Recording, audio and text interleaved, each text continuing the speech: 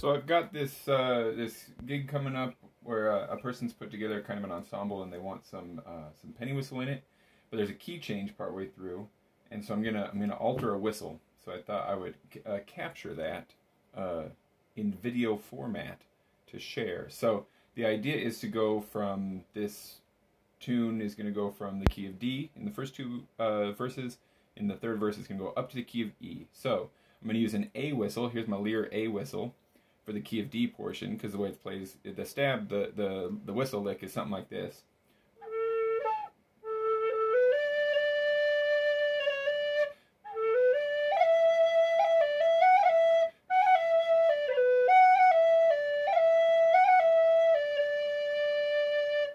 Okay, so that's that's that's it in D. Then they want to go up to E. So I've got this I've got this Generation B flat whistle, right? So that that gets close. D sharp slash E flat there, right? So I'm a half step off from where they want to get. Now Generation um, whistles usually have a little bit of adhesive under the head. I already I already kind of just you know put a little put a little muscle behind it and cranked this off and then just kind of cleaned off the, the adhesive. That's just to hold the head in place. Uh, if you want to any of the any of their whistles, you can you can just pop the head off, and then you got a tunable whistle, which is handy, right? So this one, I, I really appreciate whenever any maker gives you a little extra leeway in both directions because now instead of B flat, I can play up a bit. Oh, that's actually hitting B flat right on right now. It's a cold morning though, um, so I wonder if the temperature changes that a bit. But anyway, what I want to do is I want to get down to, I want to get down to, um, I want to get, excuse me, I want to get up to B rather than B flat. So this one can get down to, how far can I go? Let's see. If I blow soft, I can just bucket that down to an A. Let's see, get it a little more length here.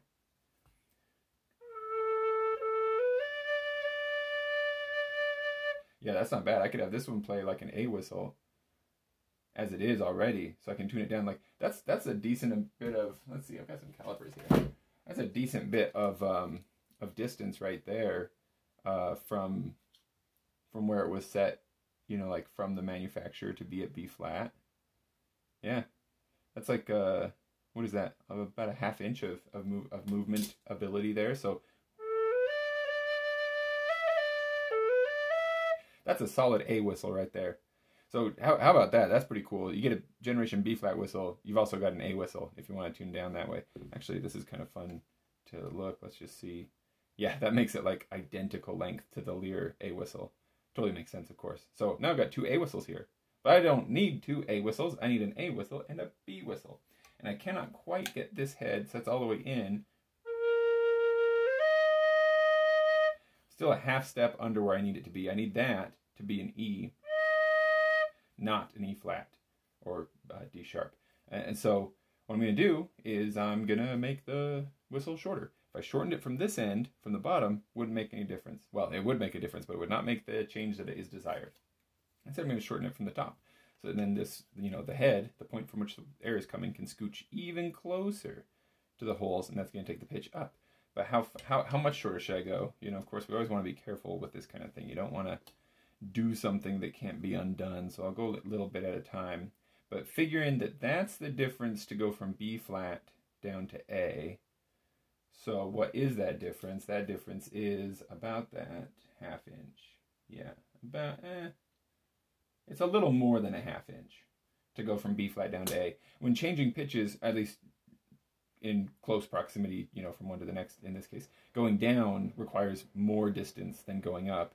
So I can figure that to go a half step from B flat down to A took about a half inch. Then to go from B flat up a half inch, uh, uh, up a half step to B will probably take a little less distance to get up there. So I'm just gonna uh, I'm gonna look at this one more time just to make sure I'm thinking straight. What's that saying? Me measure measure uh, twice, cut once, right? So that is, if it, if it matters to anybody, that's about 15 uh, I almost said centimeters, 15 millimeters. About 15 millimeters, is that right? That's what it looks like. Yeah, 16, I guess, 16 millimeters. And that's going to line up with, uh, that is right between a half inch and three quarters inch. So what is that, 5 eighths? 5 eighths of an inch, about. So I'm going to do less than that to shorten it, right? So I think I'm just going to take it down. I'm going to take my calipers down to about the half inch mark is why I'm going to do this. And then, what should I do to mark it? Do have a marker here, marker for marking, that makes sense. So I'll go my, my half inch distance, and then I'm, I'm actually gonna, I'm gonna play it really safe and actually go a little bit above that still for my mark. Because if I take off not quite enough, I can always take off a little more. Don't want to take off too much. So, and then this guy right here, this is just a tubing cutter. If you ever work with the uh, electrical lines or plumbing or anything like that, you're probably very familiar with these. This is a really cheap tool from Harbor Freight, less than $7. And it's got a wide range too, eighth of an inch to an inch and an eighth, plenty of room. That's that, those guys are just for support for your hand. So the way this guy works, I'm gonna, oh, could probably get a little tighter first. Yeah, I don't really need that guy sticking out yet. So I'm just gonna get this, sorry, I'm trying to do it in a way that you can see you can imagine if I had my hand curled all around it, it's a lot easier to get it set up. Um, but basically, I'm just going to tighten this guy up to here. About line it up with my mark. Put the blade right under the mark. Okay, and you don't want to over tighten this, like to where you're like denting into the metal. That'll kind of defeat the purpose. But basically, like the, the, these these guys will roll, and and this guy will will kind of scratch in or like smash into the kind of cut into the metal one little bit at a time. So you get it get it snug and then give it a good turn and then get it snug again, give it more of a turn. And you can imagine again if I had my hand around this, I maybe could could go at it a little faster, but it's kind of fun to watch it happen and this makes it so it's visible to the camera too anyway. Or at least I'm assuming. I can't quite see the oh there it is the screen of the phone is just a little bit beyond where I can see it while I'm doing this, so I hope this has all been lining up okay. So I just I give it a turn, crank it, give it a turn, crank it. That one was a, a stronger crank than most I had been doing. So now it's, ooh, we're, we're, oh, yep, we're getting there. We're about there. There it goes.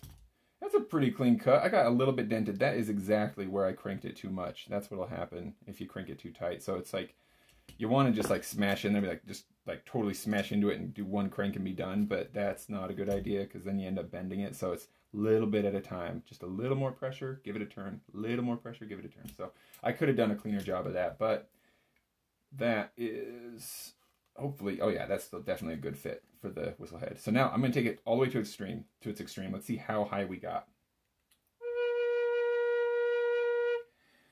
We're almost to a B now. We're a half step below B. Ooh, that's so close, so close, but it's all the way in. And it's like if if the day of when I'm playing the um the temperature of the room is too hot or too cold, it's going to throw this off a bit. So I want to give myself a little more leeway than that. And the thing is, let's check the outer extreme. How far down can I go now?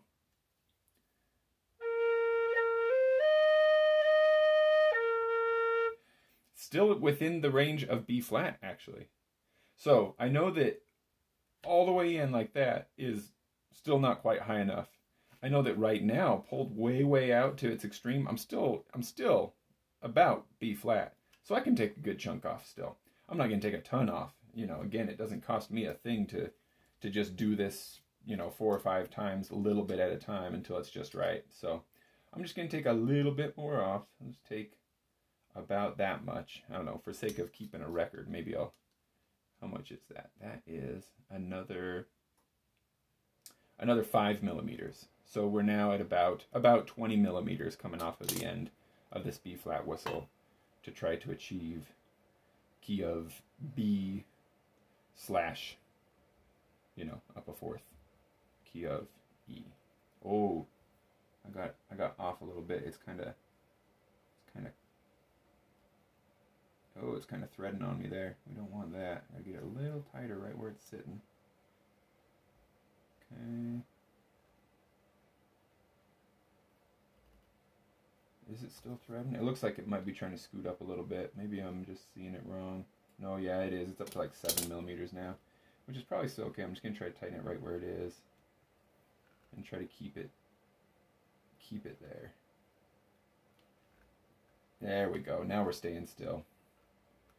So now we're just staying in the same consistent spot all the way around. So, oh, I'm sorry. I wasn't making that very clear. I was just kind of subtly tightening as I was twisting over here. So as I'm twisting around, I'm just kind of, the meat of my hand here is just kind of pivoting around, getting a little tighter as we go. Now that we're in there deep enough, it's not uh, threading on me anymore. Uh-oh, I'm gonna get all the way around. There we go, clean cut, all right.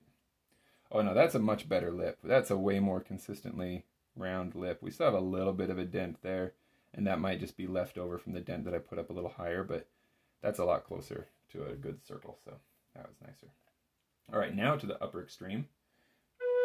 Oh, sometimes my tuner app does does do that. It just kind of freezes up. Here we go. Ooh, that's about B. And I'm actually getting above E now.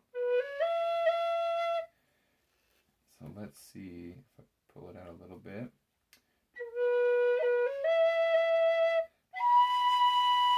Second octave B is spot on right there.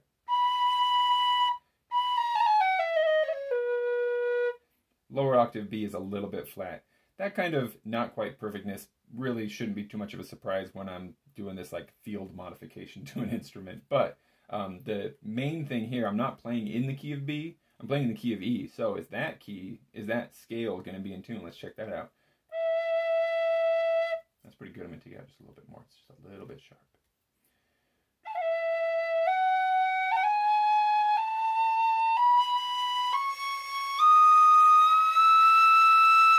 That is pretty darn good. And so now I'm in a situation where I've got a key of E that I can use, and I know that if I need to, I can go in a little sharper. So if there's something weird going on day of, and I need to go up a bit, I'll be able to. Uh, quarter step difference. So that's a pretty good bit of flexibility. And I'm just curious, if I take it all the way out to its extreme low end, where are we sitting? Only just above a B flat now.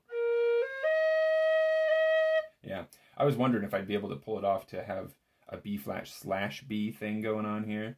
Not quite. Though having this, the extreme low be so close to B flat, I'd bet if I cut a little more off, I could have B at the lower end of this whistle and B at C at the upper end. I bet that would be I bet that would be possible. I'm gonna not risk that for right now because there's a gig coming up tomorrow to use this whistle for, and so if right now I over trim it, uh, I'd be out of luck. And so after that gig, I think I'll trim a little bit more off of this one, see if I can get a B slash C whistle. That could be really handy. But um, there we go. So now right about there. Oh, a little too high. A little bit more. That's getting in there.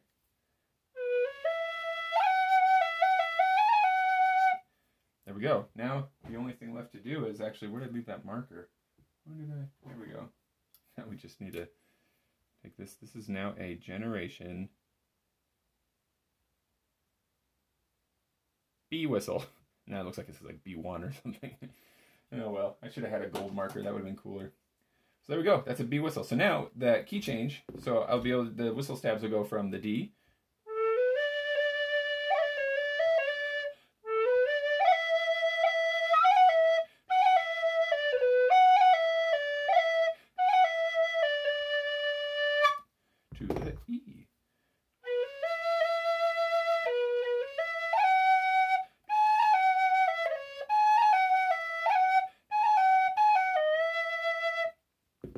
we go. Well, I'm excited by this because now I know that the Generation B flat right out of the box can do A pretty darn well. And that with a, a $7 tool, I can turn a B flat into a, a probably a B slash C whistle as well. So I could have, with two Generation B flat whistles, I could have an A slash B flat situation and a B slash C situation. So I could get uh, four keys out of two whistles and that's not even counting you know the relative keys the relative majors and minors that can come out of those those four i'm just talking like you know tonic note kind of keys that's that's pretty cool i think i'm going to get another one of these and, and do that try to set up a well, this one will become my B slash C. Hopefully, if I can get that to work. I'll, I'll, try to I'll try to keep in mind to make a video of that in, in, case that's any fun as well to see how much needs to come off to achieve um, the the C key out of this guy.